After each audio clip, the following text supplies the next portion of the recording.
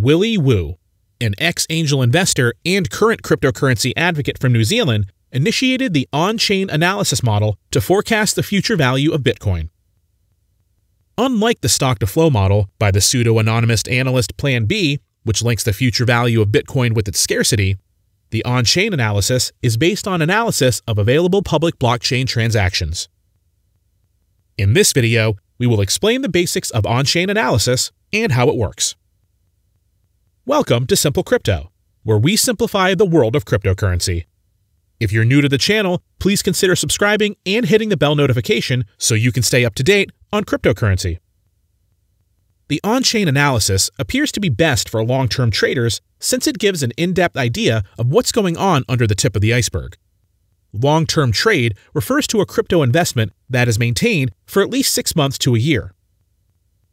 This model is based on particular Bitcoin on chain data metrics that you can easily find on public ledgers or resources. One of the best resources, also used by Willy Woo, is glassnode.com. If you're interested in learning more about some other resources, check out the links in the description.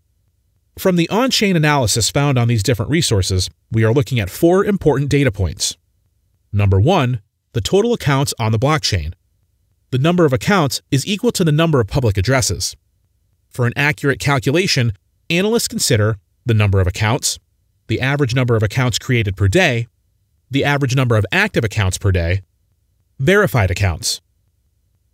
All of these points are relevant to measuring activity on the blockchain network, which further contributes to forecasting the future value of Bitcoin. Number 2. Transactions on the blockchain. For analysts, measuring real activity on the blockchain network is of utmost importance. The more transactions, the more the activity. Blockchain analysts take note of real human activities such as transactions on verified accounts, and operations, such as a set of software instructions while carrying out a transaction. By segregating the two, analysts figure out actual activity on the blockchain. Number 3. Staking. Staking generally refers to locking some amount of your currency or asset on a blockchain and making use of it later. Higher the percentage of stake, higher the user base. Hence, higher economic activity. Number 4. Dollar value of the transactions. A higher economic activity on a blockchain is quantified by the number of real human transactions carried out across different blockchain networks. For instance, sending 500 bitcoins to multiple blockchain addresses reflects more economic activity than sending 500 Binance coins across the same network due to the dollar value of Bitcoin being higher than that of Binance coin. After extracting the above data points, you will get a fair idea of the historical trends as well as a comparison of different crypto assets with Bitcoin. On chain analysis use these metrics to separate the speculative value and utility value of Bitcoin. In simpler terms, on chain analysis provides you with an idea of whether a cryptocurrency is overvalued or undervalued. As Willy Woo mentioned in an October 2021 podcast, we look at coins that may potentially be supplied. These are the coins that aren't locked up in long term holding situations. They look likely to be sold, so you can run the ratio between demand and supply.